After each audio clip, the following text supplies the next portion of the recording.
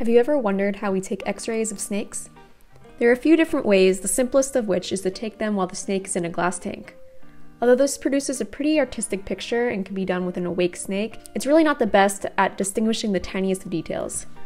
Although we were able to hold her carefully and take closer pictures of her problem area, which showed a retained egg, when she was sedated, I'd figured we'd take proper x rays.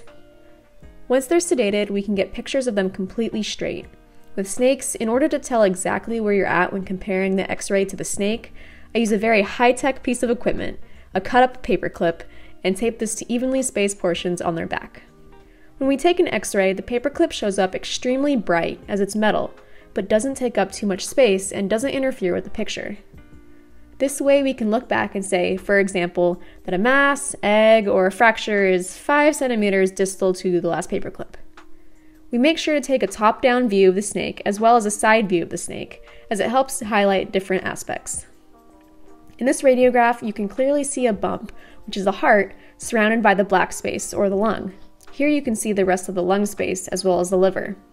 In this next side view, you can see the gastrointestinal tract and her reproductive tract with a retained egg. Be sure to follow so you don't miss the story about how we got the egg out.